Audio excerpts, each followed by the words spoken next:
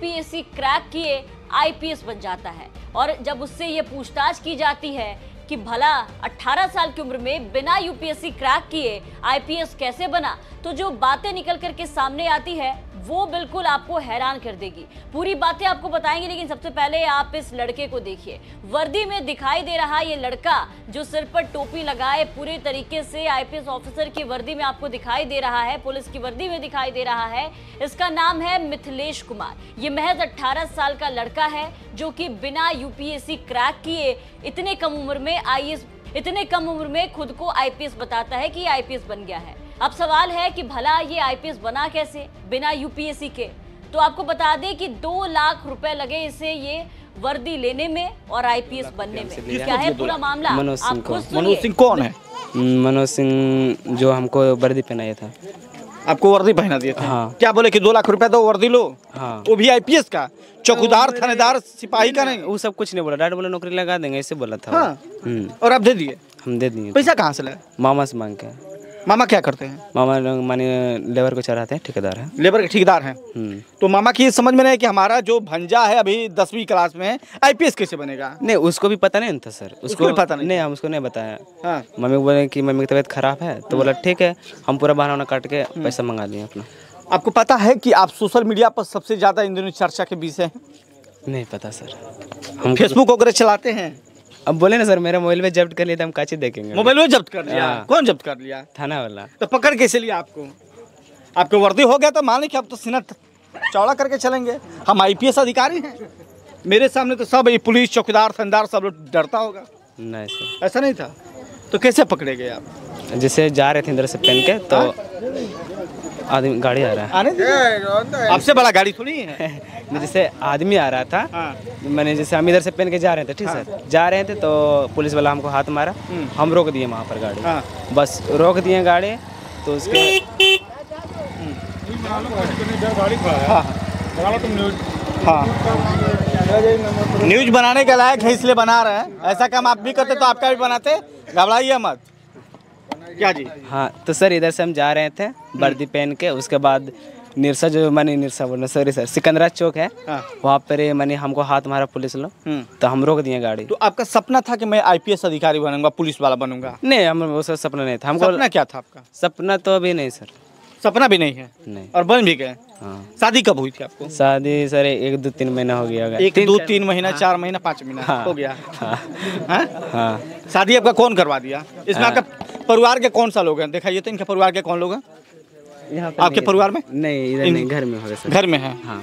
तो आप आईपीएस बन के आपको डर नहीं लगा कि आपके साथ फर्जीवाड़ा हो कि आप फर्जी तो कर पता रहता तो सर हम पहले नहीं करते। पता नहीं था ना बात ये है। पता है आपके चलते बिहार का कितना बदनामी हो रही है?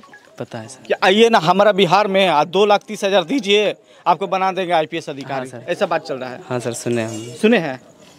तो शर्म वरम लग रहा है? शर्म तो लग रहा है बहुत। हम्म, हम्म, डर भी लग रहा है। डर भी लग रहा है थोड़ा। थाना में आप लोगों को क्या बोला? जो आप लोग सवाल पूछे वही सवाल वही पूछा। वर्दी कैसे मिला? हाँ वही बात। वर्दी कौन दिलवाया? हाँ वही बात। पैसा कहाँ से दिए? फिर वही बात सर। वही बात पूछे। हाँ वही जो। हम पूछ रहे हाँ वही बात।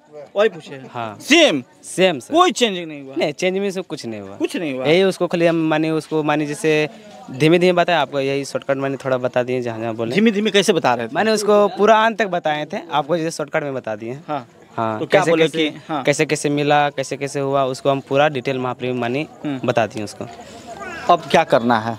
अब तो मान लीजिए कि अब तो सोशल मीडिया के फर्जी आईपीएस हो गए हैं। अच्छा। सपना क्या है आपका?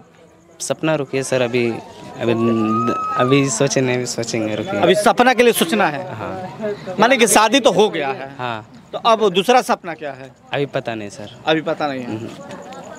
पढ़ाई लिखाई अभी जारी है आपका?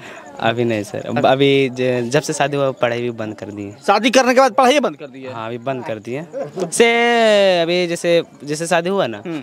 तो एक दो दिन पढ़े उसके बाद यहाँ वहाँ जाने लगा शादी के दो तीन दिन पढ़े उसके बाद बंद कर बंद कर दिए हम्म? हाँ। और और कुछ नहीं सर। और कुछ नहीं। नहीं क्या नाम है आपका? खुशी है आपके गाँव में? फर्जी आईपीएस बने क्यों खुशी नहीं रहेगा सर? खुशी है। खुशी है ना?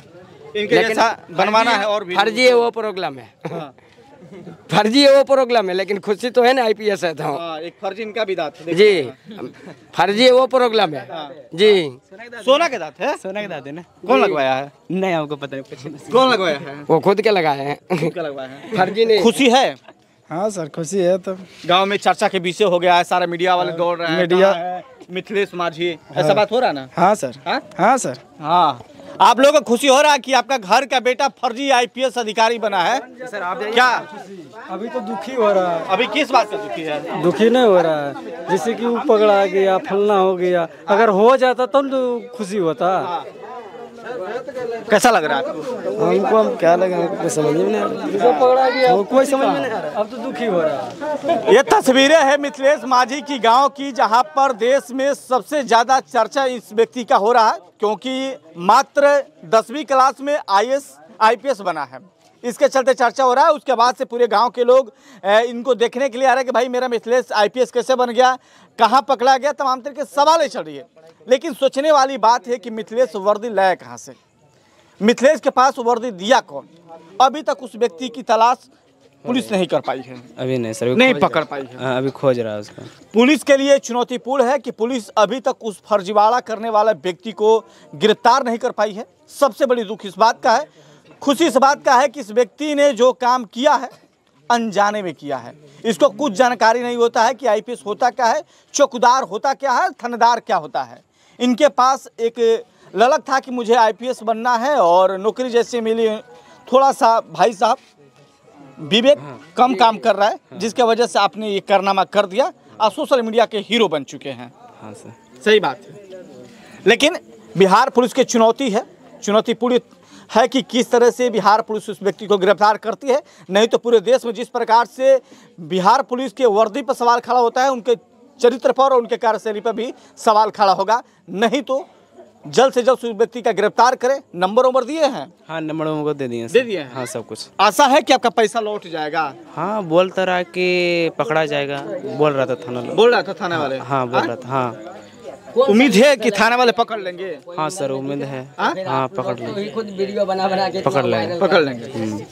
चलिए देखिए और मैं चाहूँगा कि यदि आपके अंदर आईपीएस बनने का सपना है तो पढ़िए लिखिए मेहनत कीजिए। उसके बाद आप आईपीएस बन सकते हैं।